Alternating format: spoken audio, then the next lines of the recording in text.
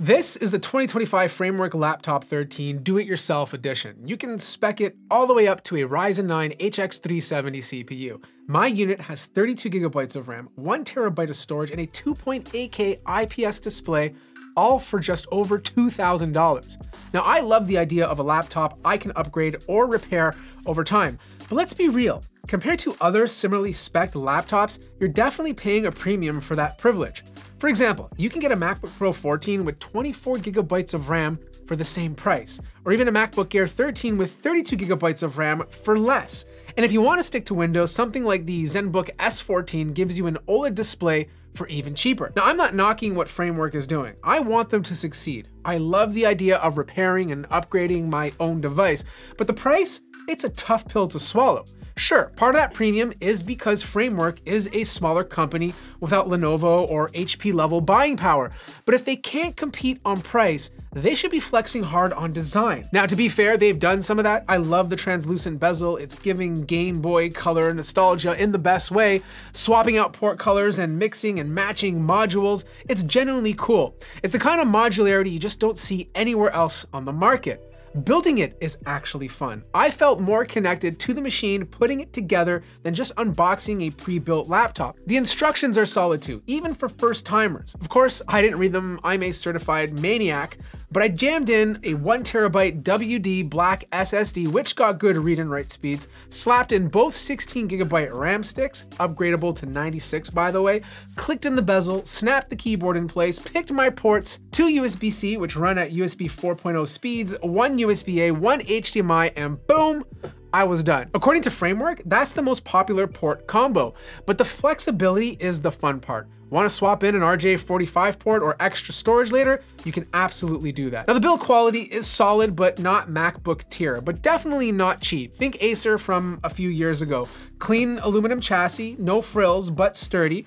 It's 1.3 kilograms, 2.87 pounds, opens with one hand. I absolutely love that. And while the screen does have some wobble, the hinge is super tight. The display is a 2.8K QHD Plus IPS panel with a 3x2 aspect ratio. Now it's not OLED, but it's still sharp. Color accuracy is good, but color gamut is kind of meh. It's fine for daily use, but don't expect MacBook level or MacBook Pro level depth. Brightness is decent, refresh rate is 120 Hz, and the webcam is okay, but no Windows Hello facial recognition to log you in but at least there's a fingerprint scanner that works well. Okay, so this is what the Framework Laptop 13 webcam looks like. It is a 1080p webcam. And uh, day is a little dark, so not the best lighting right now. So it's probably going to be struggling a bit more than other laptops I've tested. But yeah, you guys let me know how it looks and how does the microphone sound. Now typing on this thing is genuinely enjoyable. The keyboard's basic looking, but super clicky with about 1.5 millimeters of travel distance. Backlight levels are kind of meh, only really visible in full darkness, but it types like a dream. The glass touchpad also feels great and uses Windows precision drivers, so no complaints there. Now here's my favorite part. Absolutely no stickers, none. No Intel, no AMD, no I paid too much branding.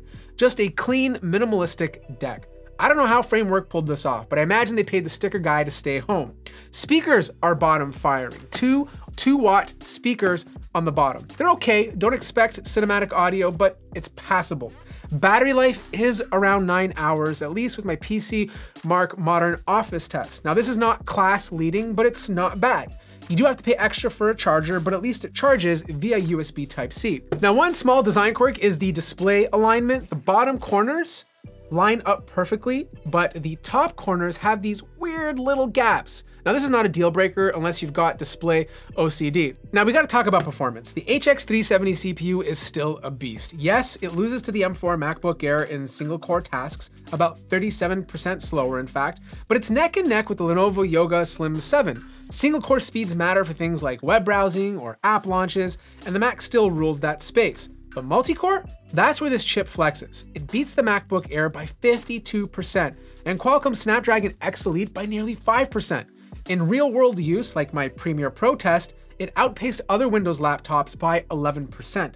The Mac still wins due to better media encoders and unified memory, but AMD holds its own. In Photoshop, the Framework laptop beat all the other Windows laptops by 25%, but again, the MacBook Air still edged it out by 12%. Now this is not a big deal, all these machines handle Photoshop absolutely fine. My Mozilla Firefox compile test also showed strong performance. The framework came second only to the MacBook, mostly because Unix-based systems like macOS are better optimized for that task. Web browsing responsiveness was 41% faster on the MacBook Air, but the framework still beat out Intel's Lunar Lake and Snapdragon X Elite chips by 27%. The integrated RX 890M GPU is surprisingly solid. It won't out-benchmark Intel's Arc, but it runs older titles like Overwatch on medium at Full HD Plus without breaking a sweat. No drop frames, no lag, just smooth gaming. Core clock speeds were where they should be, and the CPU maintained its rated 30 watts under load without getting too hot. Temps hovered in the 80s, which is typical for laptops this size. The downside? fan noise. It ramps up fast and it hits about 52 decibels at full tilt.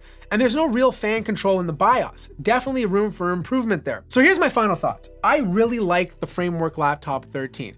But yes, you're paying a premium for repairability and modularity. Could you get better specs, a prettier chassis, and a nicer OLED display elsewhere for the same price? Absolutely. But if you're the kind of person who wants to keep your laptop for 5 to 10 years and loves the idea of swapping parts down the road, this thing makes sense. You can literally order a new motherboard, screen, or hopefully one day upgrade to an OLED panel in the future. So yes, it costs more, but that's the price of freedom. Let me know your thoughts in the comments below. If you liked the video, feel free to hit the like button. If you haven't subbed already, make sure to sub. And as always, I will see you guys in the next one.